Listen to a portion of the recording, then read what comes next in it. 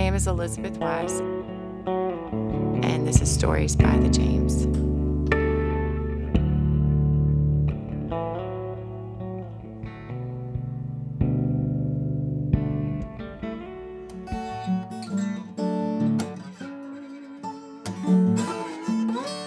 I'm really a country girl, definitely a, a rural area girl.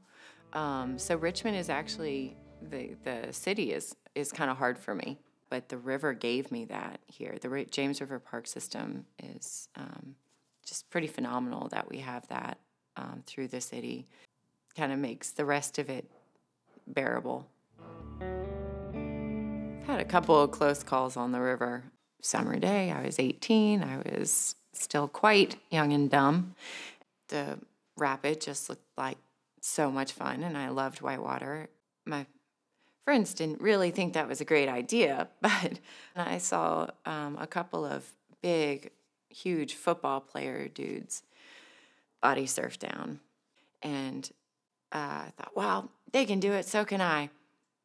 And I body surfed down Hollywood Rapids. I was almost there, but I flipped over on my belly, and the rapid took me under an undercut rock, and I was face down. And it was um, it was very scary. It wasn't until I blacked out um, that I was the water was able to spin me loose. But I was not okay with with being afraid of the river. I mean, a healthy respect is one thing, but being afraid of it is that was just not an option for me. So um, that led me some years later, like I said, to become a whitewater raft guide on the river.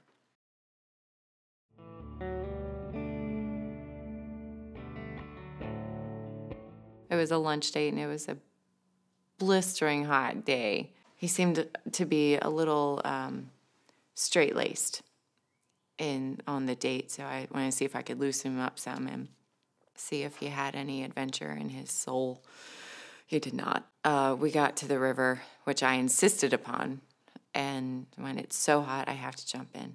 And we got there, and he went, "But what are you gonna swim in?" I went, "My dress," and that blew his mind completely. So I jumped in the river in my dress and swam around. It's like, "Come on, get in." He could not do it. And so he was out. I just didn't even need to go on another date. As a young musician, yeah, I would um, spend a lot of time down there with a book and my guitar. And uh, I, I still go down there and just mull big decisions over and stuff and, you know, a bit of an anxiety outlet before a big show or that's a space where my mind has time to wander and be creative and not just be thinking about the to do list for the day.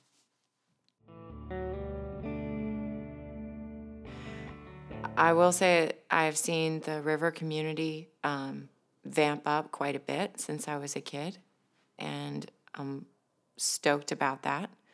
It's such a versatile river. You can canoe on it, you can fish, you can whitewater kayak or raft of different levels of difficulty, rock hop, sit and take a nap.